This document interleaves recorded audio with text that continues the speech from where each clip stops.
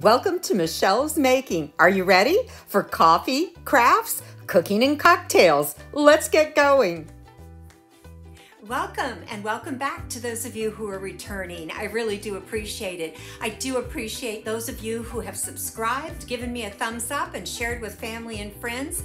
All of those things help the channel grow, and I really do appreciate it. Today is National Fluffernutter Day and Pierogi Day. So maybe those are some things you might like to give a try today. Also, I've got to give a shout out. We've had a few birthdays this week. My daughter-in-law Jennifer had a very happy birthday and that was great. And also on that same day, my little niece Brinley celebrated her birthday.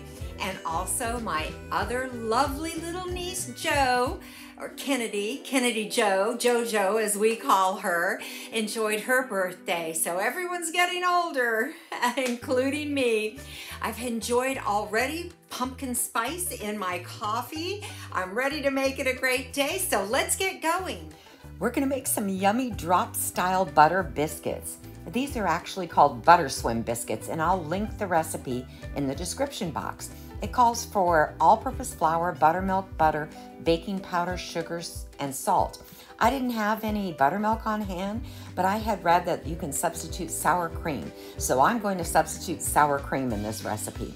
But you add your dry ingredients together, your baking powder, salt, sugar, and flour. And remember, if you don't have a sifter, just stir it with a fork so that everything gets dispersed evenly.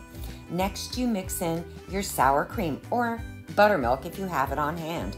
You can make buttermilk with regular milk and lemon juice, but I decided to try it with the sour cream since I had it on hand. The recipe states that it will be very moist, and I didn't think it was moist enough, so I added regular milk just till I got a very moist dough. While your oven is preheating to 450 degrees, you place your butter in the pan that you're using and set it in the oven so that the butter will melt. My larger baking dish was being used, so I used two smaller um, baking dishes that I had. The, it's going to yield about nine biscuits, so whatever you need in the way of a pan for that um, size, you know, to make your biscuits of the right size. And my biscuits were of a generous portion. I did most of the dough into this um, larger pan, well, not very large, but larger than the other one, and I cut that into six pieces, and then the other pan I cut into four pieces. Ideally, a 9 inch by 9 inch baking dish would be perfect. You want to spread the dough all the way to the edge of the pan, and you can see why they call it swimming in butter biscuits because when you're done spreading the dough, it is definitely swimming in butter.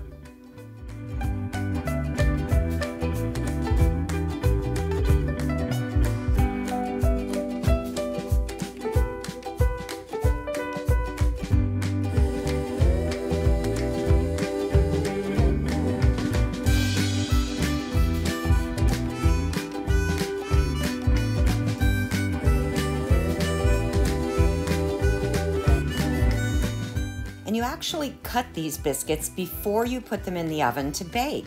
So you portion them out. Like I said, I cut them to six pieces and four pieces in the small pan.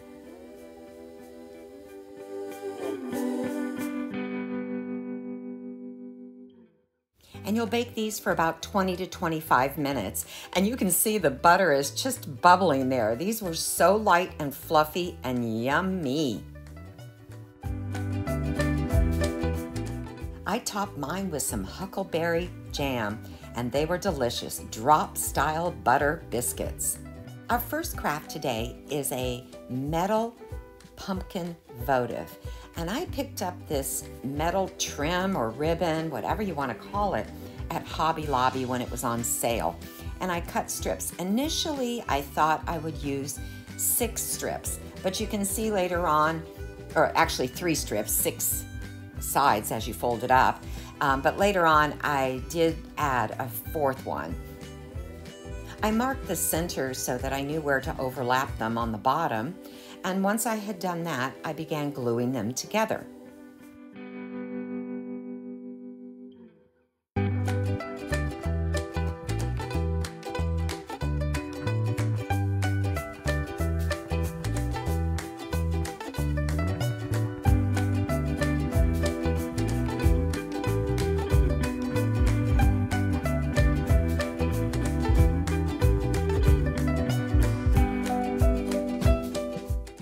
Did clamp these with my handy dandy little pink clamps from Dollar Tree.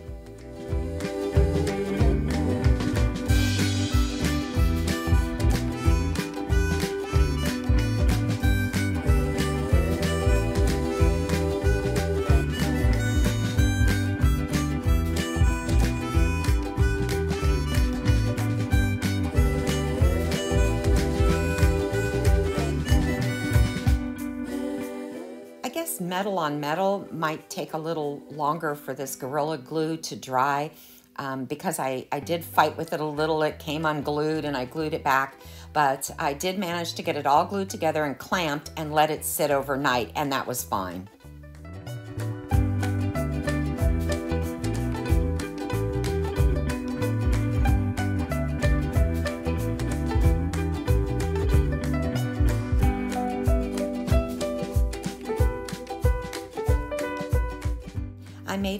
Curly Q stem for the top out of a piece of the metal and glued that on also to dry. Since I knew it was going to take a while to dry, I thought I better do it today before I let it dry overnight.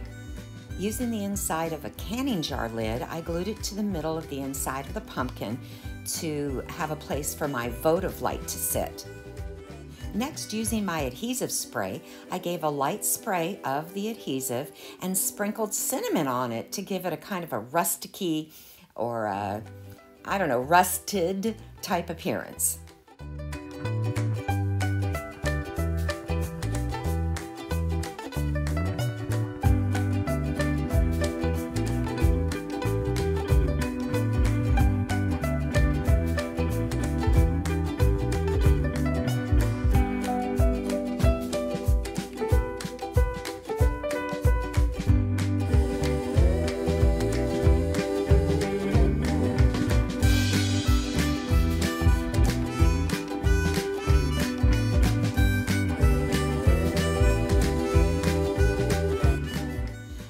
Heavier in some areas and lighter in others, um, but you do what pleases you. Don't forget to shake off all the extra cinnamon, but that's all there was to this pumpkin votive. The next thing I'm working on is a shabby chic trunk makeover. This is an, uh, an old trunk, like a box, actually. It's, it's very light, thin wood. Um, it has a paper coating over it that I had already. It just didn't fit my decor anymore.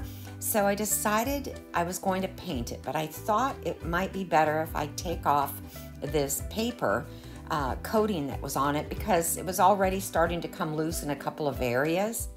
So using my handy dandy heat gun to heat up the adhesive and remove the paper, I started working on it.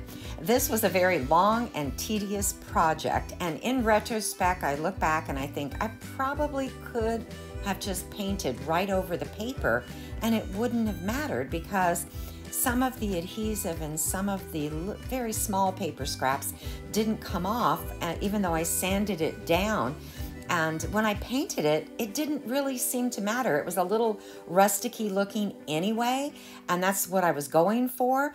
So I think I could have done this all right over the paper. But regardless, I worked and worked to get the paper off. I sanded everything down and uh, gave it a good wipe with some tack cloth just to get rid of the, the dust and the debris that was left behind. And I used some chalk paint from Folk Art uh, in this really pretty blue. I painted the entire trunk in this color and I did not do the sides because they were a strip of um, like tooled leather on the edge there and I wanted that to show because it was really very pretty. Using my antique wax paint, I gave it a light distressing.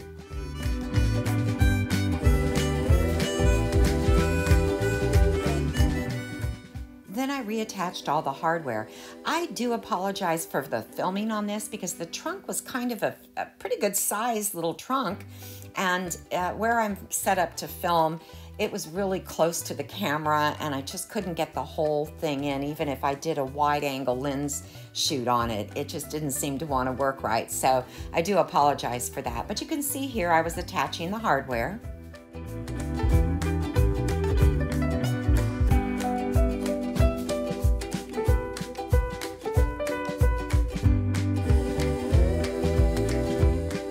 I'd love to hear about things that you've made over to suit a change in your decor.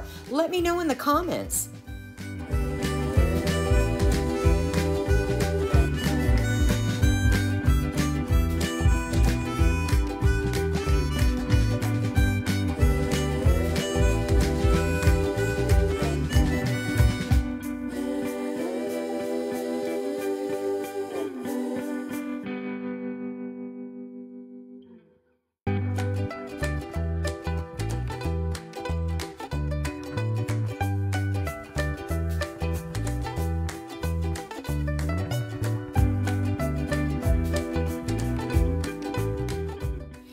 Great site called thegraphicsfairy.com that has free printables, and they have all kinds of printables. But what I was looking for was something French provincial, kind of antique looking. So I did find some and printed it out on tissue paper. Now you can see here I attached the tissue paper to a piece of cardstock so it would feed through my printer. But I have just a regular printer, nothing fancy at all and printed it onto the tissue paper and then cut it out. And I trimmed around pretty close to the edge of the um, printed material just because I wanted it to look like it was embossed onto the um, trunk. And you really with tissue paper cannot see the edges of it. So it really came out looking quite like I wanted it to but I trimmed around and I left it on the cardstock for the trimming purposes because it was a little easier to handle. But I did this to all the pieces and what I ended up doing was um, choosing one piece for each of the sides, the front, the back, and the top. You give the surface a light coat of Mod Podge and then center your transfer or your decal. I'm not sure really what it's called on this tissue paper, but you center it where you want it. Be very careful because it's tricky.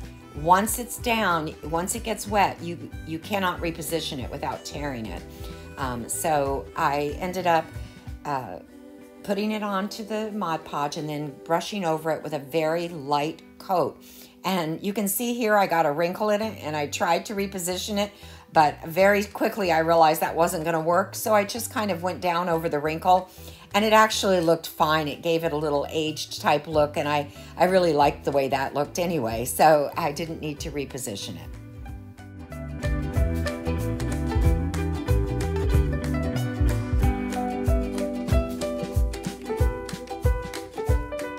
Here, I tried to give you a, a shot of each of the sides so you can see where I had attached it.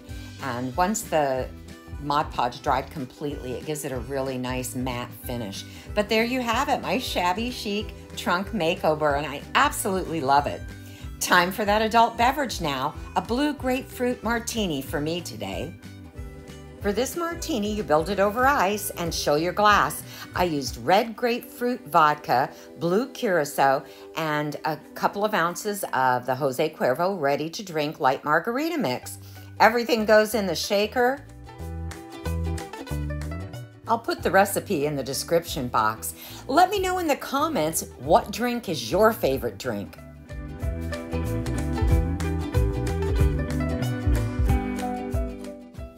Shake, shake, shake until it's well chilled.